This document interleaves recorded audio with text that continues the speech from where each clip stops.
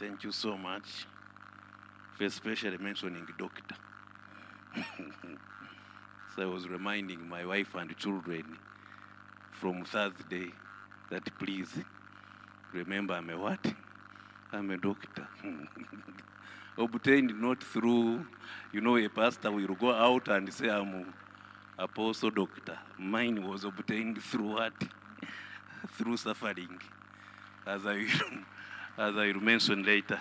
But I thank God that on Friday actually I was uh, made a doctor, PhD. That's not a doctor so that I treat people, and it was an exciting testimony, but also exciting journey. I began it during COVID towards September of 2020 because I had nothing to do around the COVID time. I mean, you are seated at home, so I just said, let me enroll for PhD.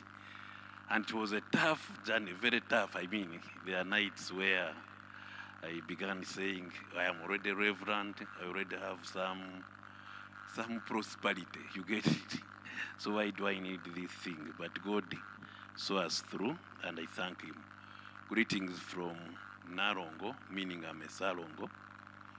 And we have um, twins, whom I think many of you know. They are both lawyers. The lady is for, lawyer for me, boy, girl. Then the boy is lawyer for mommy, just in case of a dispute at home. And so far, we are doing very, very well. Me and my daughter, we normally defeat the other side.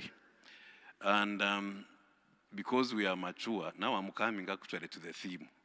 Because we are mature, even when we defeat one another, we normally remain behaving properly. We remain as one what? One family. And so the theme will be main on maturity. To, to know that, you know, Christians are tossed around by any type of doctrine. Sometimes they mention that, eh, to mention you are Anglican, you feel guilty because eh, is there somebody saved there? I was ministering to certain, a certain group of ladies, and when I said that I'm an Anglican priest, they, they really pitied me, and they were serious. That, so you mean, can't you live and get saved? So I asked them, what is salvation? And the definition was clear that salvation is you are in a saved church. And uh, I actually asked them that, is there a saved church on this earth? Jesus died for salvation of humankind. Amen? Not salvation of buildings. So you can't have a saved religion, a saved faith, a saved church. You have a saved person, and when they meet saved people, it is a saved what? Congregation. But also the assumption is that actually your neighbor is saved. That's a very serious assumption. Because salvation, again, is not only personal, but it comes from what? From God through grace. You can, you can, you can imagine that salvation is not imparted by anything, but by grace. I was given Ephesians, and I felt guilty when I was down there that I should have put the whole Ephesians book like to light. I would have put uh, PowerPoints, but I found that I couldn't find where I had written it. But the book of Ephesians is very interesting when you are reading it because it is called a general epistle, general epistle, meaning it applies all the time in different places. Written by Paul in around AD 60, he was in prison. He mentions twice that I, a prisoner. Actually, in chapter 4, he begins by saying, I, a prisoner. But it has four main themes. And listen to this. The first one is a new life. From chapter 1, verse 1 to chapter 2, verse 10, is a new life in what? In Christ. New life. That you know, when you become a believer, certain things must change. If they don't change, you know, get a Christianometer and just, if you measure zero, you get out. You get it. A new life in Christ. But then after getting a new life as an individual, verse chapter 2, verse 11 to 321 is a new society. That I'm a believer, but I'm in a new what?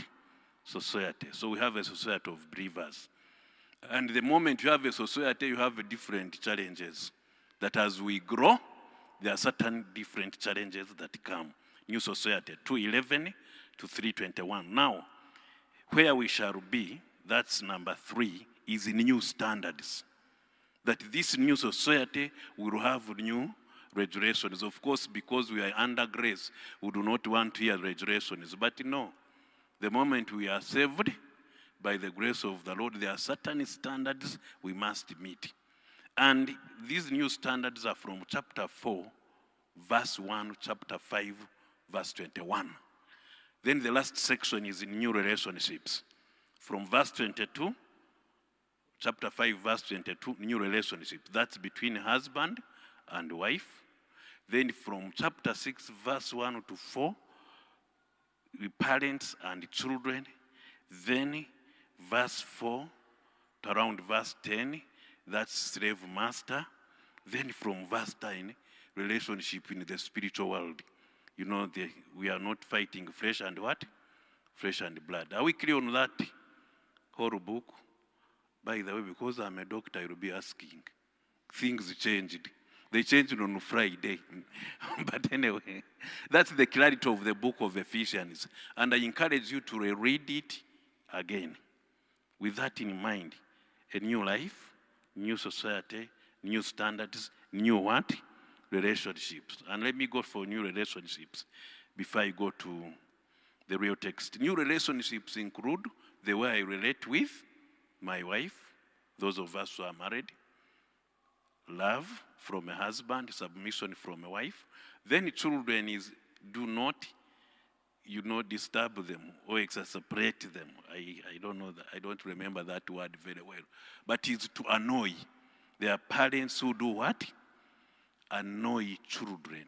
And it is tension after what? Tension. And I have been, you know, like a student because uh, I want to be a good parent. But we normally do what? Annoy. Why haven't you performed the way like? Then you put certain names. Me, in the beginning, actually, I used to say, perform like me. I was good in class.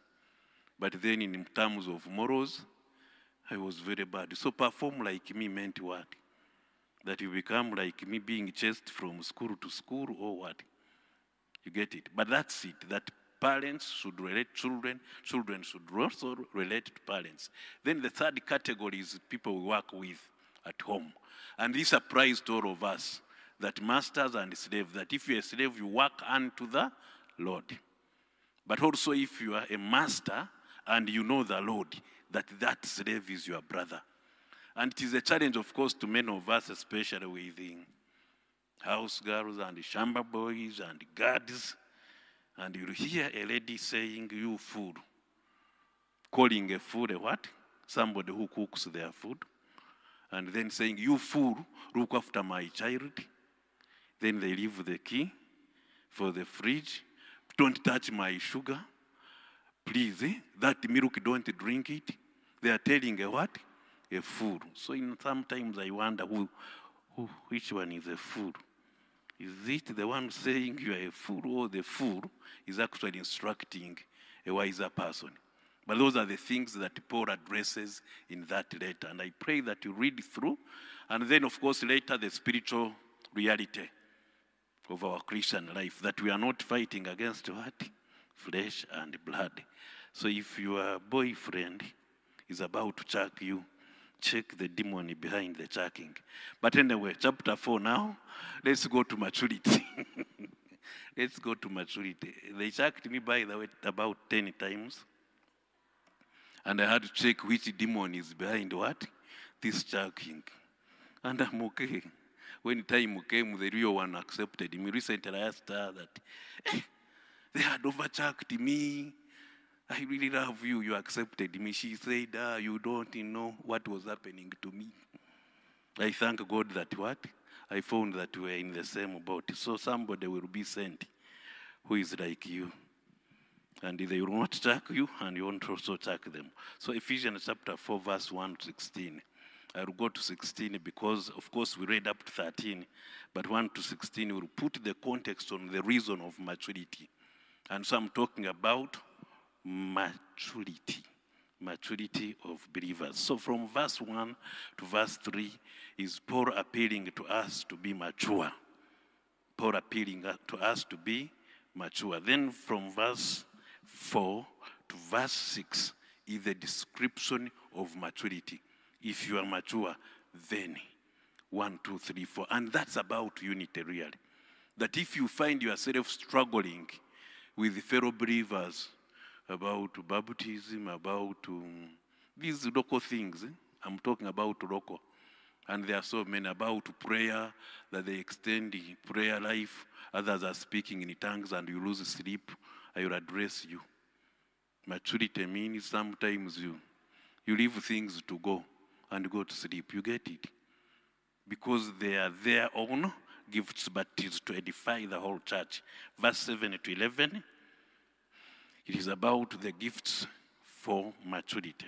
These gifts for maturity. Then 12 to 16 is the reason for maturity. Why does God, through Paul, encourage us to be mature? So the first section is verse 1 to 3. Appeal to maturity. Appeal to maturity. For this reason, I, Paul. So again, the one who wrote Ephesians clearly is who? Is Paul. And he's writing it from prison. And he states that a prisoner of what? Of Christ Jesus for the sake of you Gentiles. So Ephesians were not what? We are not Jews. He's actually informing us, Gentiles, that this man is in prison for our sake. And so if a prisoner speaks, please listen. Can I repeat? If somebody is sick in hospital, or a prisoner, or somebody is going away never to come back, and they are speaking, that's what we call their last testament. Please do what? Listen. So, what is he appealing about? Number one, verse 2. Surely you have heard. No, no, no, sorry. Verse 3, uh, chapter 3 and verse chapter 4, all beginning with the prisoner. So I was reading prisoner. As a prisoner for the Lord, then I urge you to live a life worthy of the calling you have received. So the first issue is that you must live a life worthy of your calling. And this one I will be a bit blunt. That Christianity today has been made like instant. You get it? A life worthy of God's calling must remind you of the pain Christ went through on the cross. So please live that life. And if you can't live it, L I V E, please live. L E A V E. If you can't live that life and walk in it, in those principles, please leave church. Because we have again made church like a what? A pack of cards. I can do this, I can do this, I have freedom, it is grace. Let me tell you, the cross was not simply a joke. And sometimes I tell people, I can't give myself to sin because of the agony Jesus what went through. I want to appeal to you. Actually, read through the Passion Week. On Thursday night, he's betrayed, he's arrested, his, his fellow his disciples can't even pray with him. That night that he was crucified, you know, Peter denies him three times. They are beating him, they are spitting, and I will come to it slightly later. So that when we are walking a life worth of the Lord, somebody will see us as a what? Somebody will see us as a book. So the question is, other than shouting, get saved, do you live a life worth of the Lord? Can somebody tell that you are a Christian without you mentioning their name of which church you go to? And let me tell you, we are 85% plus Christians, but Uganda is a disaster. Why? Because they are not walking a life worthy of the Lord. And the narrow gate and the big gate is clear. But in Matthew chapter 7, verse 21, please read there when you reach home. He says, Some of us will come, we prophesied, we did miracles, and you know what he will say? I never knew you. Why? A life worth of the Lord means the following. Verse 3 And when I was reading, it, it was very, very clear that verse 2 be completely humble, meaning maturity needs a level of humbleness, a level that when they advise you, this, yes, I will take this advice, and if things are not clear, I will go and slowly, slowly consult. Humbleness. This is lawlessness, to take yourself slightly lower than what you are. And it's a challenge, especially for some of us who think we have achieved in life or who think that we know. Ah, doctor, doctor, doctor. You get it. I begin walking at an angle. God should humble you to know that I do not know it all. In senior four, when I did my exams, my teacher told me that I defeated the whole of Uganda, physics paper two. When he told me, I began walking at a what? At an angle. You get it? Very proud. Then, when results came, I had 16 aggregates. Those days, they would put you on Radio Uganda. Physics distinction, math distinction. I knew that I'm going to A level, but I was never admitted anywhere in Uganda, Rwanda, Congo, Zaire. I wasn't admitted for A level. And my angle became, became what? Became normal. You get it? And the Bible says, humble yourself before the mighty hand of what? God. In due time, He will lift you up. So, what makes you proud? I'm now asking really a question to you.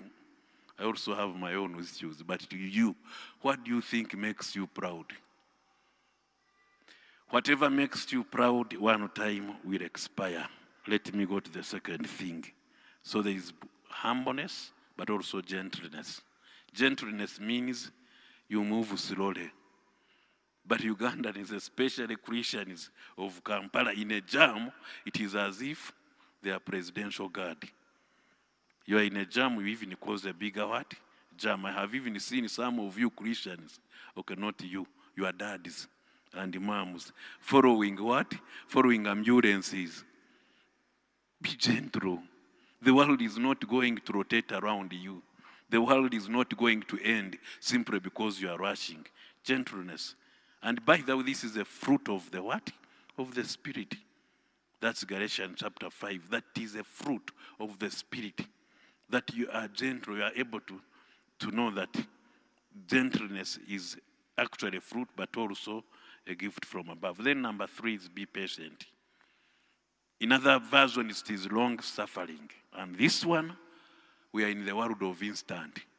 You get it? Instant coffee, Instagram. It is also instant. instant messages, and you can't even sleep before you answer it. Let me tell you, be, gen- be patient. The world will not what? End simply because you haven't done certain things. I'm not talking about procrastination. Procrastination means you are able to do something, but you can't do it.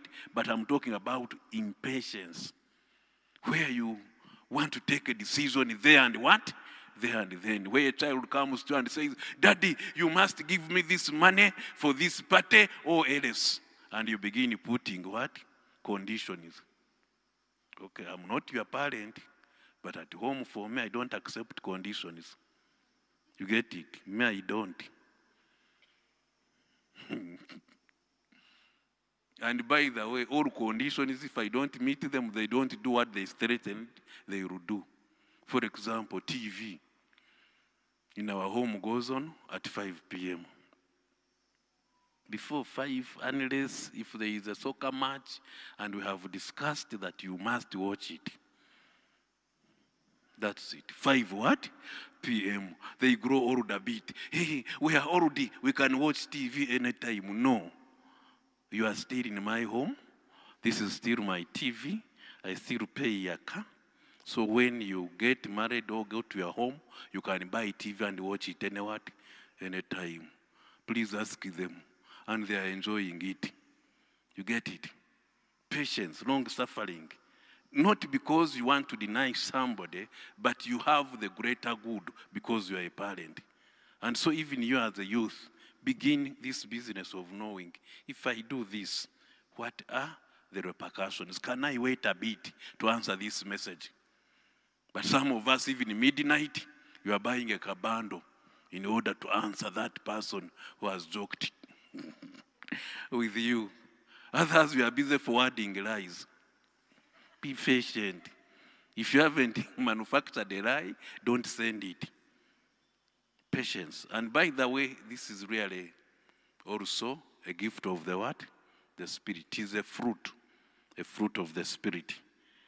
Then, after patience, he talks about bearing with one another.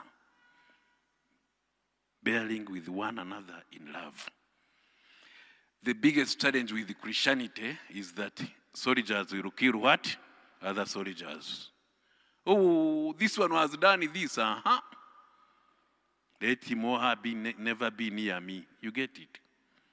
And we perfect it. Even in our prayers. Oh, let's pray for sister and so, so and so. She fornicated with brother and so and so. And you mention the names and you are praying. That bearing one another in love?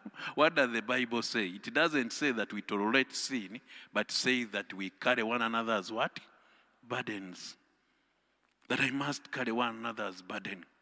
And I thank many of you who actually reach out. These days it is tough for you to call somebody unless if you want them to come for your wedding meetings. Please bear with one another. Call him before the wedding meeting does what? Comes. I really get angry. You are calling Reverend. okay, no, no, no, no. Please call me. Please call me. What I'm saying is that please reach out to those who are getting lost. Reach out to certain people who are not even there. It could even be today. But we do not carry their what? They come to us. They, there is a lady who called me yesterday. She has no, no money for defense. And by the way, she's in a church which is very what? Powerful with billionaires. The amount of money she needs is 5.7. It is between her and her masters in biostatistics. So I was imagining, do we really care for one another? And she's a worship leader. You get it? And they call her to their homes. And you get it. And so I'm asking myself, surely, surely, please also bear with us, reverends. You call us for your weddings. You come, we wed you, Thanksgiving, 250K. You reach decoration, 25 million. Please bear with one another. Where do you invest most? I'm not saying you don't decorate. I'm only reminding you decoration in the church is better than decoration outside there. People will know you for the marriage you have run, not for the how much you have spent on your weddings. Baptism, bear with one another. Mm. 10K Thanksgiving. We reach. Reverend, which type of beer? Surely, on a baptism, bear with me. Anyway, I'm going there after here. I don't know what I will find. But that's it. I have a coinjida in Icheng, in, in, in, in Kajo, Namasuba side. But that's it, that he's saying actually that we should bear with one another in what? He adds the word love. But when you love somebody, you'll be able to reach out. I had challenges with my father for about uh, 34 years. I mean, challenges. I'm saved, yes, but this man, I hate him, and he knew it. I call him Muzei. If you check my PhDs Tumuhimbise Jasper, he's called Impirirwa. I couldn't include him in my, among my names. But then one time when I was in SCP, non ABC, the first building committee, actually the Lord spoke through people and they asked me, if you went to heaven and you saw your father going to hell, what would you do? Okay. Would you clap that this is okay? So bearing with one another is actually seeing the bigger picture. That this brother of mine, this sister of mine, may have committed sin, But I need to restore them rather than making a liturgy of excommunication. Never come near what? Near me. And that's the challenge today that we have left drug addicts, we have left people we think have types of hairstyles and dresses which we can't embrace. Yet, for Christianity to take charge of situations, we must bear with one another. In what? In love. The bottom line is I must do it in love. So I repaired with my father so that when I'm in heaven, he's also where? In heaven. Otherwise, I would be working for the devil. Hello? And when you work for the devil, forget about heaven. I hope I have scared you enough. Number in verse in verse 3 make every effort to keep unity make every effort to keep unity through the bond of peace and this is what they call maturity that you see we shall make all efforts to ensure that we are united as christians and so, if you are part of people who divide the church, by the way, for any reason other than possibly sin, then check yourself whether you a what? A Christian. It's saying making every effort. In fact, in, in Romans 12, he says that keep peace if it is possible. In other words, there are certain people who are really impossible even making every effort, realizes that there are certain brothers. You will try, they will be impossible. But he's saying make every effort. So, as youth, even as committees, please, maturity is measured by making efforts to what?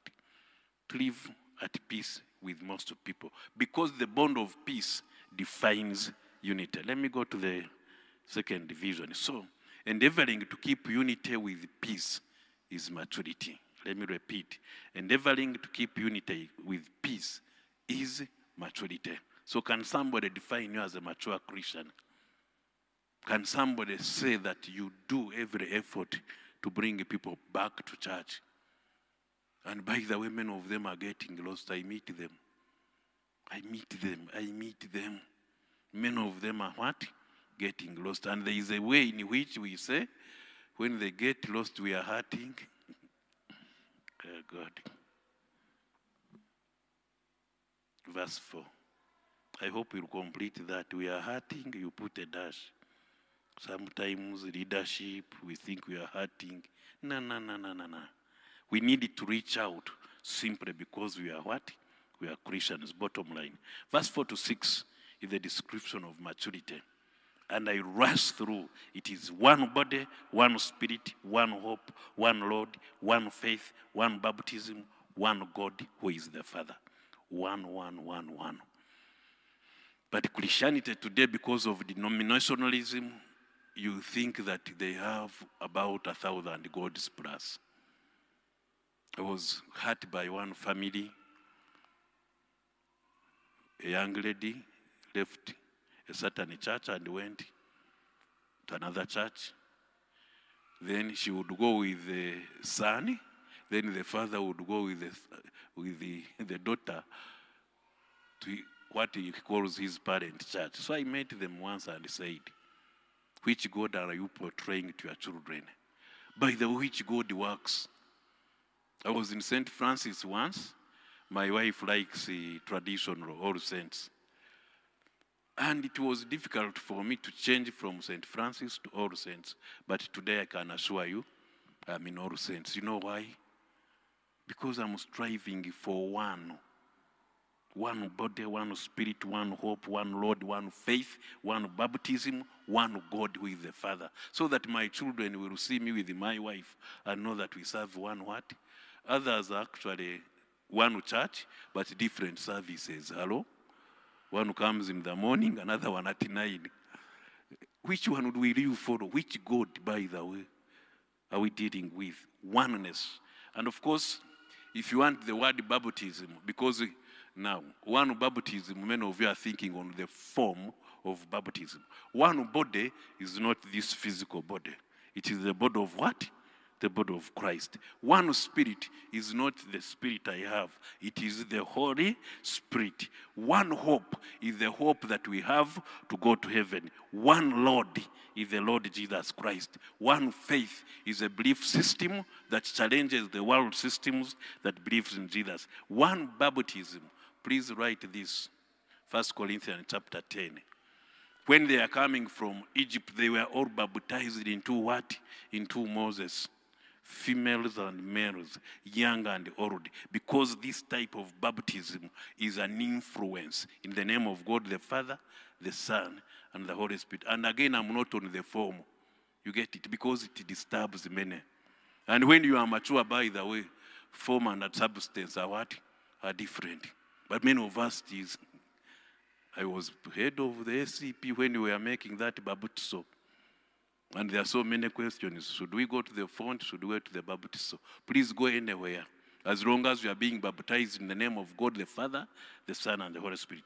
But then last he says, God and Father.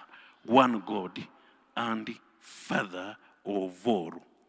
Listen to the number of alls. Who is over all and through all and in all very many alls in one what? In one verse. That maturity will put God the head first. And that we, we should know that if I am in this church and somebody else is in another church, we are serving the same what? The same God. The form may not be different, but we are serving the same God. But then, that is the God of all creation. That even in his service, we must reach out and what? And preach to others. So a mature person will be seen through actions of one faith, one body, one spirit, one baptism. You are not bothered about things that divide us. You are more bothered about the things that do what? That unite us. And by the way, there are so many things that can unite you at the body of Christ. Let me rush quickly. Two things, then I end. 7 to 11. 7 to 11. We are talking about the gifts that come to us so that we are mature. 7. But to each one of us, grace has been given as Christ apportioned it. So, number one, the gifts you have the fruit you have, how you look like, is a gift from God by His grace. Of course, later you read that that we are all dead in what? No, actually not later, in chapter 2. We are all dead in trespasses and sins. So don't boast about you being a better dead person. You know, you find people boasting that I'm richer. If you are dead, you are what? You are dead. So by grace we were resurrected, so that nobody can ever what? Can ever boast. So these gifts we have are gifts from God, and the gift giver is Jesus Christ through grace. And these gifts are given for one big reason maturity, as I will come to it. So gifts are from God. The gift giver, verse 8 and 9, is Jesus Christ, because he's the one who descended and ascended. All power is given to him.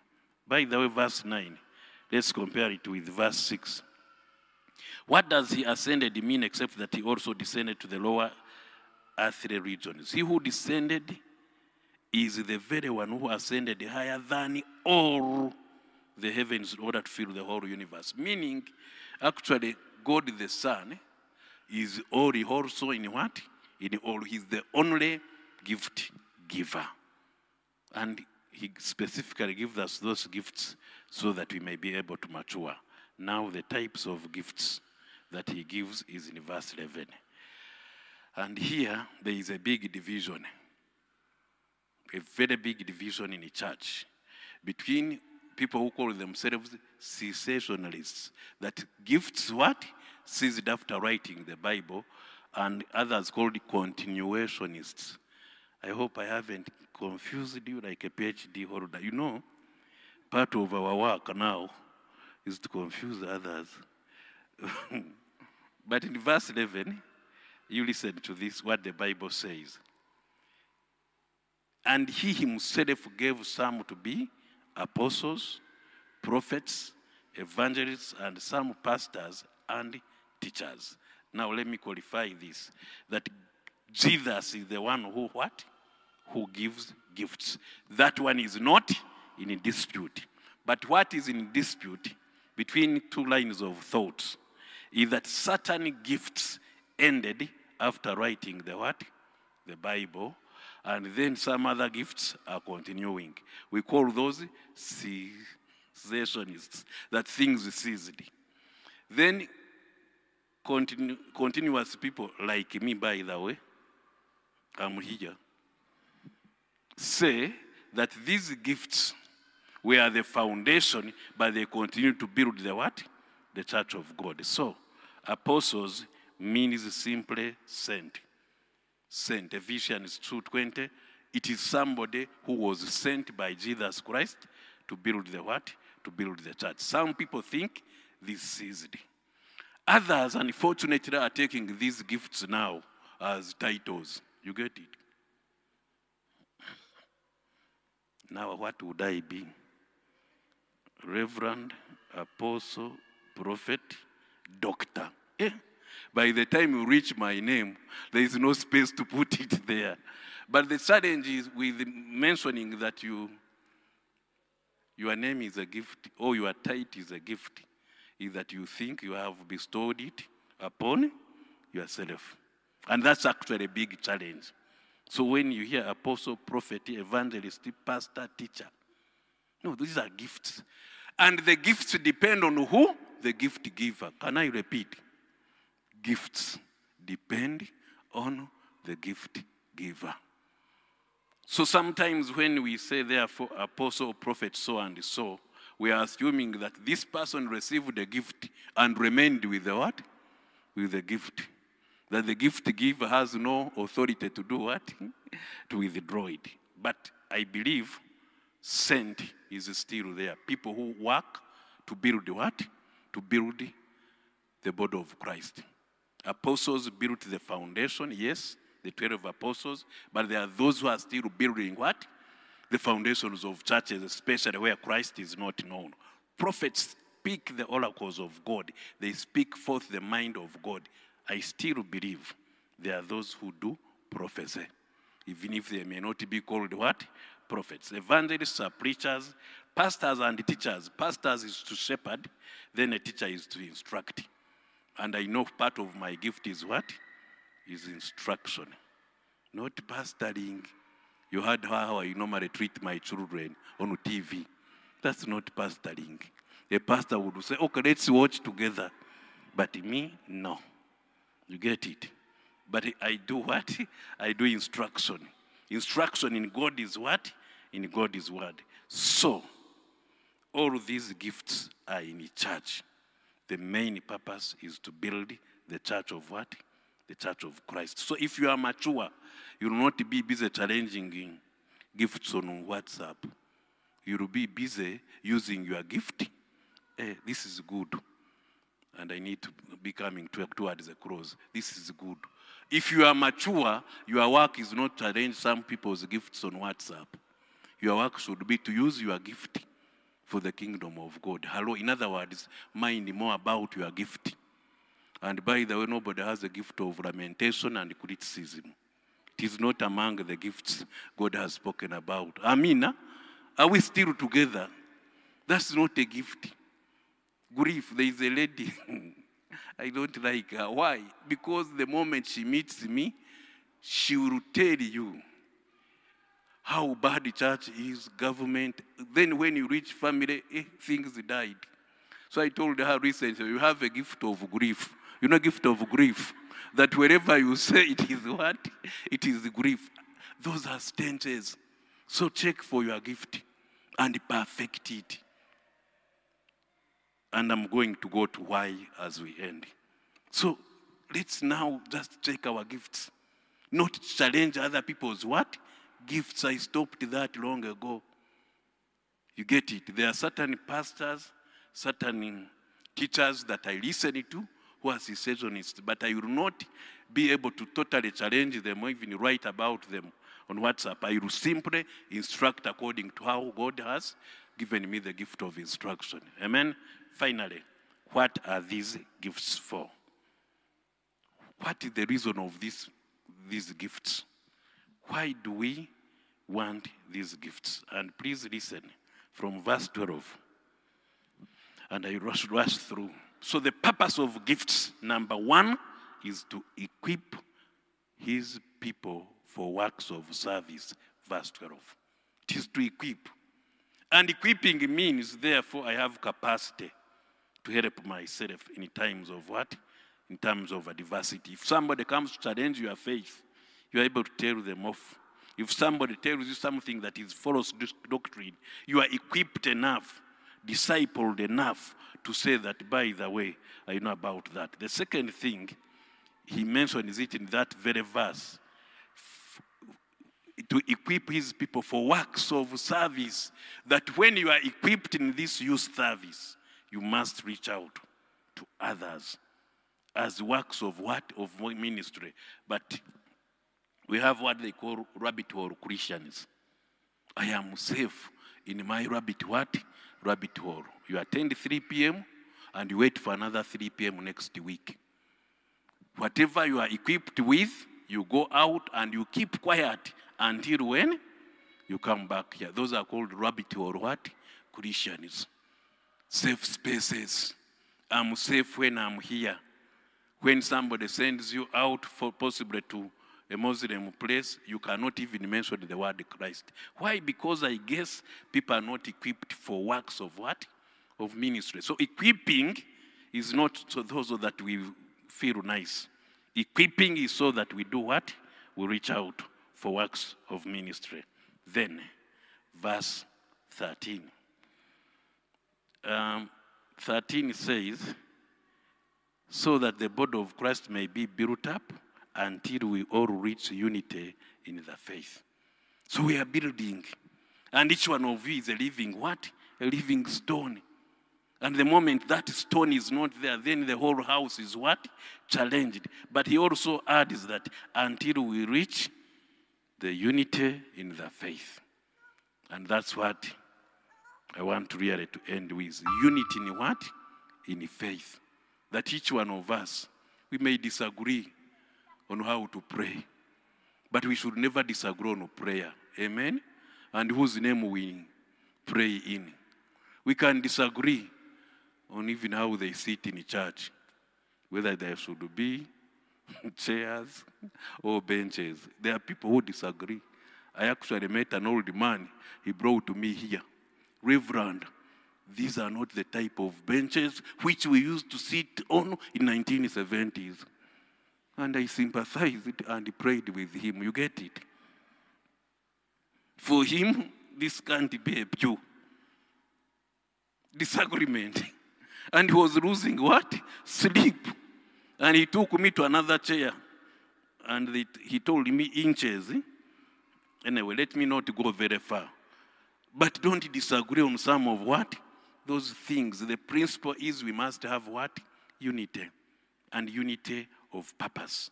And then he also mentioned knowledge of the Lord. That our work is to continuously increase in the knowledge of the Lord, attaining to the whole measure of the fullness of Christ. So he ends there to attain a full measure of fullness of Christ. Then when people look at you, they see the radiance and character of God. And then I will end with this then we will no longer be tossed out like infants back and forth by waves and blown here and there by every wind of teaching. That the moment we do this, the main thing is what? Is maturity. So, I began asking whether you are mature. I have given you what to do in order to be what? Mature. My prayer is that you now grow up that we shall not feed you on milk. You know milk. But you shall go for hard meat. By the way, hard meat means you need teeth inside your heart, inside your mouth. But the church is full of people. They're in pampers. They have beards, but in what? in pampers, breasts, but bambe dressed in pampers. All they are feeding on is milk, milk, milk. And every type of doctrine comes and they follow it. Miracle here, miracle there. Let me tell you, Mark 16, 16 says, if you believe, verse 17, the following miracles will follow you. You shouldn't follow what? Miracles. Miracles should what? Follow you. But we are tossed around and around. I have a dear sister in Mbarara. She rang me the other day and I was preaching. And then after ringing me, she said, By the way, Reverend, I have got a solution for my marriage. I said, Uh huh. I have gotten two prophets. They said in my pillow, when they were manufacturing it, they put a mahembe. Uh, that one you can't put it in English. A mahembe horns. but then in English they are charms. They put inside the charms. They were in my mattress. They were also in my what? In my pillow. I asked her, you allowed them inside your bedroom? Yes, Reverend, because they prophesied that inside mhm, was your husband there? No. hmm Did they remove? Yes, I can I send you the video? I said, don't send it. You are a fool. Tossed around by what? Every wind. She said, What? I said, I wedded you, but I wish I had counseled you differently. And by the way, tell your husband that will be the end of your marriage. I'm now being blunt. So I advised her, please keep quiet, go to church, tell God that here I am a fool. I did foolish things, Lord. Prevent my husband for ever knowing that somebody came and cut our what? In the middle. You get it? Removing demons. Okay. Tossed around by the what? Every wind. And guess what? After that, problems. So she rang me that hey, problems have increased. Solution yet? Not a solution. And so many of us are tossed around. You get it? Some people came to me and said, ah, under this house there are demons that they put things. I said, let's pray so that we nullify the what? The power of those things. You cannot come with the hoe to begin what? and that's it, that we must be what? Mature. And that's what I have ended with. Let's stand and pray. And as we pray, may God make you what? A mature Christian. Able not only to digest his food, but also to reach out. Father, we thank you because you are our God.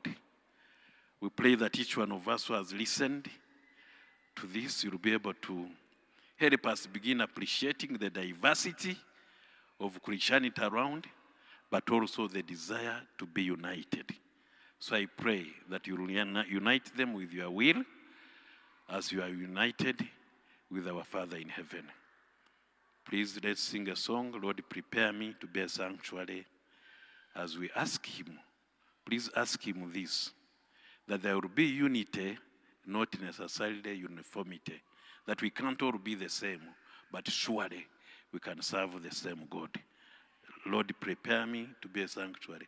I have no gift of singing, but Esther will, will help. Do we know that song? We are collected to be your song, to pray for unity, but not necessarily what? Uniformity. No, we can never be the same, but we can allow each one to play their part. Lord, prepare me to be a sanctuary. To be a sanctuary, pure and holy